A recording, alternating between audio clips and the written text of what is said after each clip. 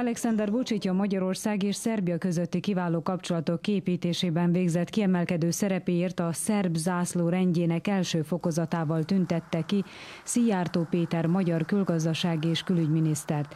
Ez az egyik legrangosabb szerb állami kitüntetés.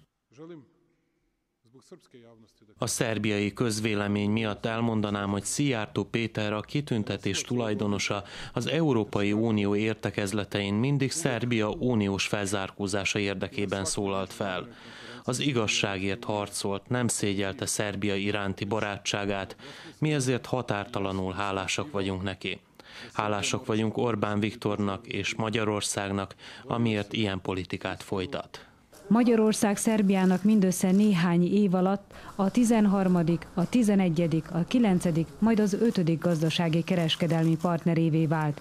Ez mindkét állam számára jelentős, de Szerbiának talán még fontosabb, mint Magyarországnak, hiszen kisebb és szegényebb ország, mondta Szerbia elnöke. Alexander Vucic külön köszönetet mondott Orbán Viktornak, hogy a magyar befektetők, a magyar miniszterelnök és a magyar kormány elhivatott munkájának köszönhetően 16 nagy beruházás valósult meg Szerbiában csak a múlt évben.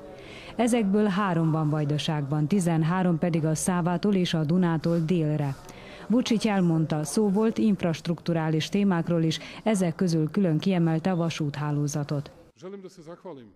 Köszönetet szeretnék mondani a magyar kormánynak és Orbán Viktornak azokért a stabilizációs törekvésekért, amelyeket a régióban és a Nyugat-Balkán területén fejt ki. Ön mindig tekintettel van a Nyugat-Balkánra gazdasági és politikai szempontból is. Sokan mondják, hogy támogatják Szerbia európai integrációját, de kevesen teszik ezt nyíltan és bátran, még akkor is, ha Szerbia miatt kritikát kell elviselnie. Minden térségnek van kulcsországa. Ez nem sérti mások érzékenységét, de van kulcsországa. Nekünk is megvolt a magunk kulcsországa. Én azért állok nagyon egyértelműen Szerbia Európai Uniós tagsága mellett, mert én ezzel a teljes Nyugat-Balkán integrációja mellett állok. Amíg Szerbia nincs integrálva, addig a Nyugat-Balkán nem lesz integrálva. Szerbia kulcsország. Ezt az uniónak meg kell értenie. Sőt, azt kell mondanom, hogy ma ha a számok nyelvén beszélek, nagyobb érdeke fűződik az Európai Uniónak Szerbia tagságához, mint Szerbiának az uniós tagsághoz.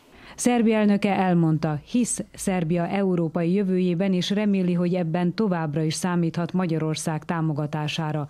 A jövőben nem csak Magyarországgal, hanem más államokkal, így a V4-ek országaival is szorosabbra szeretné fűzni a kapcsolatokat. Közép-európai országoknak meg kell érteniük, hogy a rövid távú érdekeiket fölülírja a hosszú távú sorsközösség.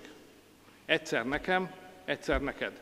Azért kell egymásra korrektnek lenni, mert megfordulhat bármikor a történelem céljárása, és rá fog szorulni a szomszédodra. És ha nem voltál fair és korrekt a szomszédoddal, ő sem lesz az. Ha ezt nem értik meg Közép-Európa népei, akkor pszichológiailag és lelkileg nem lehet stabilizálni a térséget. Ugyanis a térség stabilizálása az nem egyszerűen gazdasági kérdés, hanem a népek együttélésének a kérdése, ami bizalmi kérdés. Orbán Viktor kitért a migrációra is, amelyet, mint fogalmazott egy időre, háttérbe szorított a világjárvány. Ilyen tekintetben pedig mindkét államnak a jövőben ismét lesz egy közös nagy problémája, ez pedig a délkelet felől érkező migráció.